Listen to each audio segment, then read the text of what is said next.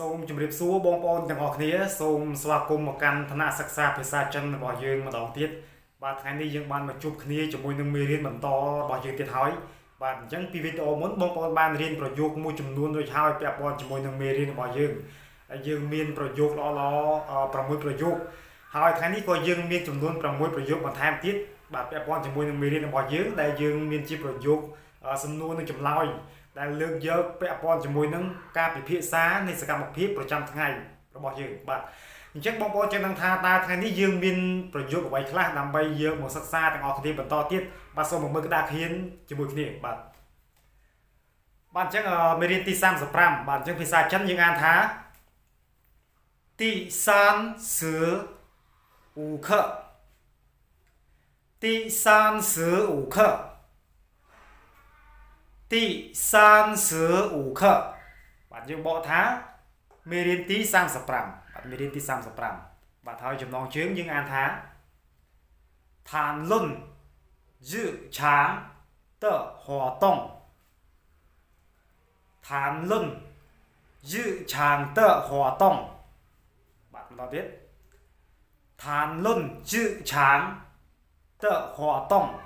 បាទយើងបកថា ពិភាក្សាអំពីសកម្មភាពប្រចាំថ្ងៃបាទពិភាក្សាអំពីសកម្មភាពប្រចាំថ្ងៃបាទនេះគឺជាចំណងជើងមេរៀនយើងពាក្យថាឋានលុនបាទឋានលុនយើងបកថាពិភាក្សាឬក៏ការជជែកគ្នាបាទយឺឆាងបាទយឺឆាងយើងបកថាប្រចាំថ្ងៃឬក៏រាល់ថ្ងៃបាទបាទហွာតងបាទពីពាក្យនេះហွာតងយើងបកថាសកម្មភាពបាទសកម្មភាព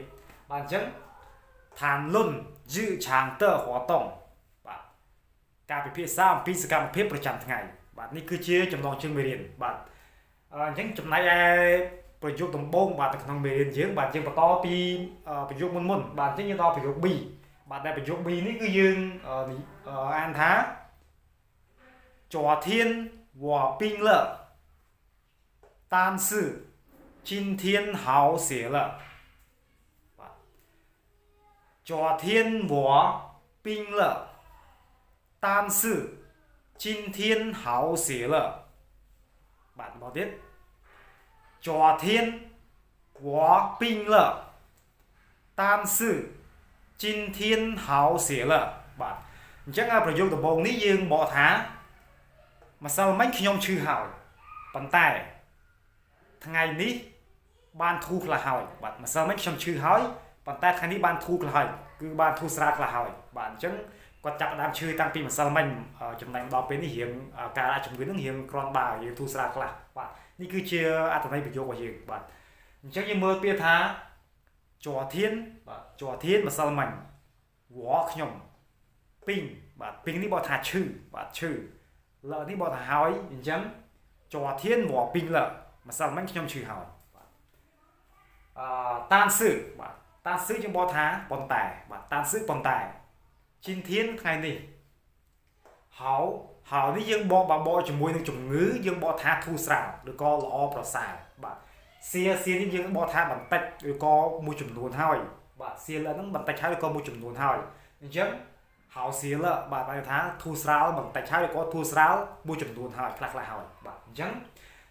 អញ្ចឹងតាមសឺជីនធានហៅសៀលប៉ុន្តែថ្ងៃនេះបានធូរស្រាលខ្លះហើយបាទនេះគឺជាប្រយោគដំបូងរបស់យើងបាទប្រយោគ B បាទបន្តទៀតគេបាននិយាយបន្តបាទមកប្រយោគទៀតបាទបាទគេនិយាយថា我不发烧了我不发烧了但是还有点咳嗽បាទ但是还有点咳嗽បាទអញ្ចឹងបន្តទៀត我不发烧了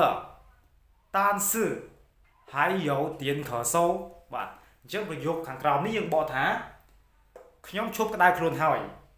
ប៉ុន្តែនៅក្អកបន្តិចបាទខ្ញុំឈប់ក្តៅខ្លួនហើយប៉ុន្តែនៅក្អកបន្តិចបាទអញ្ចឹងគាត់ចង់និយាយពីអាការៈគាត់នេះគឺកិនក្តៅផ្ទះសាយហ្នឹងឯងបាទអញ្ចឹងអឺបានថាឈប់ក្តៅខ្លួនទេប៉ុន្តែនៅក្អកតិចតួចបាទអញ្ចឹងយើងយើងបកបែបហ្នឹងបាទពាក្យថាវបកថាខ្ញុំពុបាទពុនេះយើងបកថាមិនទេឬក៏ឈប់បាទ ហើយពាក្យថា fa sao បាទ fa sao នេះបកថាក្តៅខ្លួនបាទក្តៅខ្លួនឬក៏អាការៈខ្លួនក្តៅហ្នឹងបាទលើលើនេះបកថាហើយអញ្ចឹងវ៉ាពូ fa sao លខ្ញុំឈប់ក្តៅខ្លួនហើយបាទតានសឺបាទតានសឺប៉ុន្តែហើយយោហើយយោនេះបោះថានៅឬក៏នៅមានបាទទៀនទៀននេះបន្តិចបន្តួចបាទខសោបាទខសោនេះបោះថាក្អកបាទក្អកអញ្ចឹងតានសឺហើយយោ ទៀនក្រសោបាទប៉ុន្តែនៅ មានក្អកបន្តិចបន្តួចដែរបាទបាទអញ្ចឹងនេះគឺជាប្រយោគបន្តទៀតបាទតោះអញ្ចឹងយើងមើលប្រយោគ A បាទប្រយោគ A នេះគឺជាប្រយោគសំណួរបាទគេសួរថានីតើសាំងខោចិនមកលើបាទនីតើសាំងខោចិនមកលើបាទបន្តទៀតនីតើសាំងខោចិនមកលើ អញ្ចឹងប្រយោគ A នេះគេសួរថាមុខរបួសរបស់អ្នកយ៉ាងម៉េចហើយបាទមុខរបួសរបស់អ្នកយ៉ាងម៉េចហើយនេះគឺជាប្រយោគសួរមួយទៀតហើយបាទពាក់ព័ន្ធជាមួយនឹងអាការៈរបួសបាទអញ្ចឹងបើសិនជាយើងមានរបួសអឺរបួសមួយគឺយើងអាចប្រើប្រាស់ប្រយោគបានយើងចង់សួរទៅគេណាចង់សួរទៅគេតើមុខរបួសរបស់គាត់យ៉ាងម៉េចហើយបាទអញ្ចឹងយើងមើលពាក្យថានីអ្នកតនេះរបស់បាទសាំងខោបាទសាំងខោពីពាក្យនេះយើងបកថាមុខរបួសបាទមុខរបួស បាទអញ្ចឹងនិតើសង្ឃោមុខរបួសរបស់អ្នកបាទចិនមកបាទចិនមកយ៉ាងម៉េចលកហើយលកនេះមកទៅហើយបាទអញ្ចឹងនិតើសង្ឃោចិនមកលកបាទមុខរបួសរបស់អ្នកយ៉ាងម៉េចហើយបាទនេះគឺជាប្រយោគ A បាទអញ្ចឹងយើងមើលប្រយោគ B បាទជាប្រយោគចម្លើយហើយក៏ជាប្រយោគចុងក្រោយដែរបាទប្រយោគ B នេះយើងអានថាหายใจชูเสียหวานเว่ย 要去给医生看看才好还在出血，我认为要去给医生看看才好。bạn nói tiếp bạn dấu cái hình về mình tách bạn hải trai chu xế 我认为要 ខាន់ខាន់ឆាយហោបាទអញ្ចឹងប្រយោគមួយនេះយើងបកថា នៅចេញឈាមបាទនៅចេញឈាមខ្ញុំយល់ថាត្រូវទៅឲ្យគ្រូពេទ្យពិនិត្យទើបល្អបាទនៅចេញឈាមខ្ញុំយល់ថាត្រូវទៅឲ្យគ្រូពេទ្យពិនិត្យទើបល្អបាទអញ្ចឹងបានចង់បានចង់ឆ្លើយជាមួយនឹងប្រយោគខាងលើនេះចង់ន័យថាមុខរបួសរបស់ខ្ញុំនឹងគឺនៅចិញ្ចៀមនៅឡើយទេអញ្ចឹងគួរតែឬក៏ខ្ញុំនឹងយល់ថា ត្រូវទៅឲ្យគ្រូពេទ្យពិនិត្យមើលហើយទើបល្អតើអាការៈរបួសហ្នឹងយ៉ាងម៉េចដែរត្រូវការលាបថ្នាំប្រាប់ថ្នាំអីខ្លះព្យាបាលយ៉ាងម៉េចនេះគឺជាប្រយោគមួយដែលនិយាយពាក់ព័ន្ធជាមួយនឹងអាការៈជំងឺដែរបាទបាទអញ្ចឹងយើងមើលពាក្យថាហាយចាយបាទហាយចាយពីពីនេះបកថានៅបាទនៅបាទឈូបាទឈូនេះយើងបកថាចេញសៀឈាមអញ្ចឹងឈូសៀចេញឈាមបាទអញ្ចឹងហាយចាយឈូសៀនៅចេញឈាមបាទវ៉ាខ្ញុំ runway បាទ runway បកថាយល់ថា runway យល់ថាយោត្រូវបាទត្រូវឬក៏ត្រូវការបាទឈីឈីនេះទៅបាទបកថាទៅកៃឲ្យបាទកៃឲ្យអ៊ីសឹងបាទអ៊ីសឹងគ្រូពេទ្យអ៊ីសឹងគ្រូពេទ្យខាន់ខាន់បាទខាន់ខាន់គេមកថាមើលឬក៏ពិនិត្យមើលបាទបើយើងនិយាយជាមួយនឹងអឺពាក់ព័ន្ធជាមួយនឹងការទៅពេទ្យចឹងទៅវាខាន់ខាន់គេមកថាការពិនិត្យមើលបាទ ឆាយទៅហៅល្អអញ្ចឹងឆាយហៅទៅល្អបាទអញ្ចឹងប្រយោគទាំងមូលហើយចៃឈូសៀបាទនៅមានចិញ្ចៀមវ៉ារិនវៃយ៉ាវឈីកៃអ៊ីសឹងខាន់ខាន់ឆៃហៅបាទខ្ញុំយល់ថាត្រូវឲ្យគ្រូពេទ្យត្រូវទៅឲ្យគ្រូពេទ្យពិនិត្យទើបល្អបាទបាទបងប្អូនទាំងអស់គ្នាអញ្ចឹងថ្ងៃនេះគឺយើងមានប៉ុណ្ណឹងប្រយោគបាទសម្រាប់ចែករំលែកជូនដល់បងប្អូនទាំងអស់គ្នាបាទ ហើយក៏អត់មានអ្វីបន្ថែមដែរដោយសារតែប្រយោគអស់ហ្នឹងយើងបានបកប្រែបំបែកពាក្យនីមួយៗឲ្យបងប្អូនហើយប្រសិនបើបងប្អូនអត់ទាន់ចំណុចណាបងប្អូនអាចមើលម្ដងទៀតទៅនឹងយល់ហើយបាទអញ្ចឹងមុននឹងបញ្ចប់វីដេអូមេរៀននេះខ្ញុំសូមអានម្ដងទៀតក្រែងលោមានចំណុចឬក៏ពាក្យកន្លែងណាមួយដែលអានចេញទៅមិនច្បាស់ឬក៏បងប្អូនស្ដាប់មិនទាន់បាទសូមមើលម្ដងទៀតអស់គ្នាបាទបាទអញ្ចឹងមេរៀនទី35ភាសាចិនយើងអានថាទី35ខ ទី35课មេរៀនទី35បាទចំណងជើងឋានលុនយឺឆាងតសឹងតហွာតងបាទឋានលុនយឺឆាងតហွာតងបាទយើងបកថាពិភាក្សាអំពីសកម្មភាពប្រចាំថ្ងៃបាទ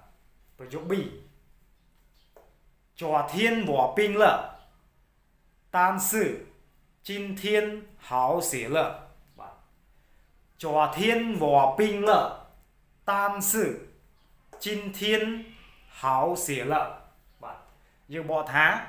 mà sao mấy ខ្ញុំឈឺហើយប៉ុន្តែថ្ងៃនេះធូរខ្លះហើយបានថាបានធូរស្រាលខ្លះហើយបាទបន្តទៀតវ៉ពូហ្វាសោលតានសឺហើយយោទៀនខសោវ៉ពូហ្វាសោល 但是还有点咳嗽បាទខ្ញុំឈប់ក្តៅខ្លួនហើយប៉ុន្តែនៅក្អកបន្តិចបាទឈប់ក្តៅខ្លួនហើយប៉ុន្តែនៅក្អកបន្តិចបាទប្រយោគ A 你的伤口怎么了បាទ你的伤口怎么了មុខរបួសរបស់អ្នកយ៉ាងម៉េចហើយបាទប្រយោគ B 海在出血我认为要去 给医生看看才好បាទ海在出血我认为要去给医生看看才好បាទនៅចិញ្ចៀមខ្ញុំយល់ថាត្រូវទៅឲ្យគ្រូពេទ្យពិនិត្យទើបល្អបាទបងប្អូនទាំងអស់គ្នាអញ្ចឹងមេរៀនរបស់យើងថ្ងៃនេះគឺយើងមានប៉ុណ្ណឹងដើម្បីជាការចែករំលែកជូនដល់បងប្អូនទាំងអស់គ្នាបន្តទៀតបាទហើយខ្ញុំក៏សូមបញ្ចប់នៅវីដេអូនេះប៉ុណ្ណេះសិន បាទយើងរងចាំជួបគ្នានៅក្នុងវីដេអូក្រោយៗទៀតនឹងមានមេរៀនផ្សេងៗទៀតដើម្បីលើកយកមកបង្ហាញជូនដល់បងប្អូនទាំងអស់គ្នាបាទអញ្ចឹងពេលនេះសូមអរគុណសូមជម្រាបលា